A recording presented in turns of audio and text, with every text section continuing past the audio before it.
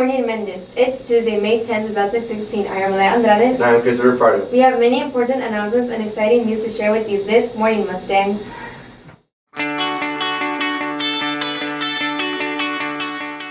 This week is SBAC testing week for mathematics. Before you take the test, you must be sure to keep your cell phones off and away in your backpacks and bring your Chromebooks charged every single day.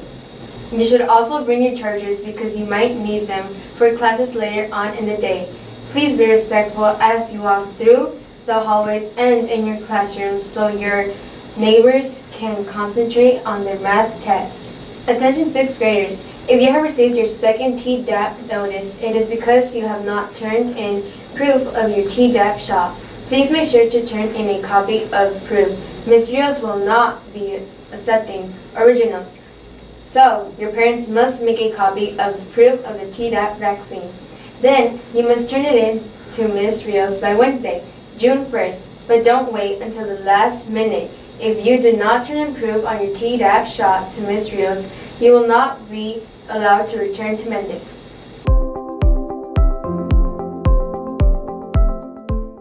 Hey Mustangs, did you receive a library notice indicating that you owe money because you forgot to return the book that you checked out a while ago?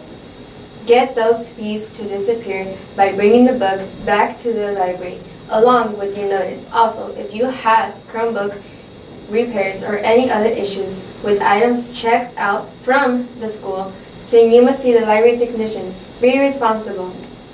This Thursday, the society is meeting after school in the green room.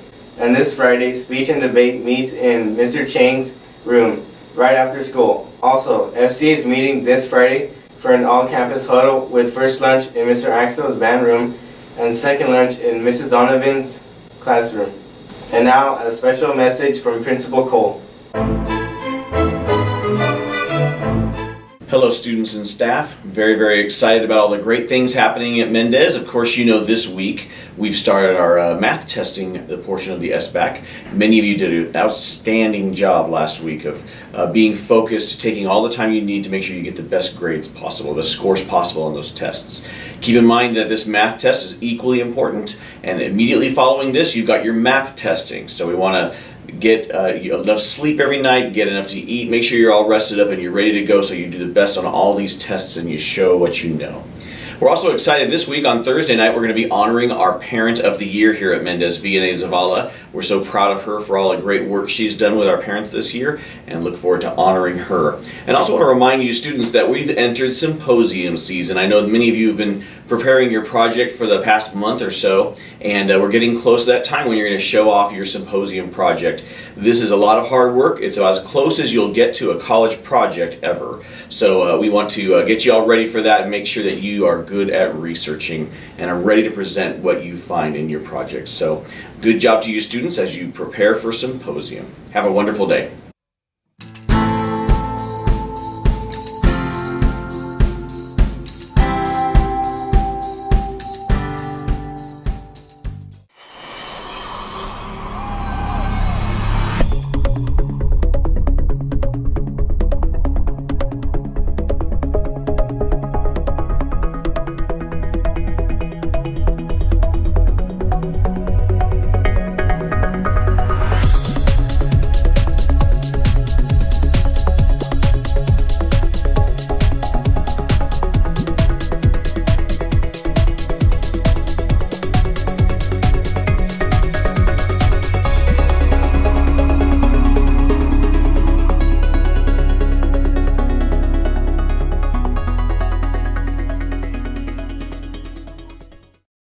Thanks for tuning in this morning. Have a beautiful day, Mustangs. Stay respectful, responsible, and ready, Mustangs. Goodbye. Goodbye.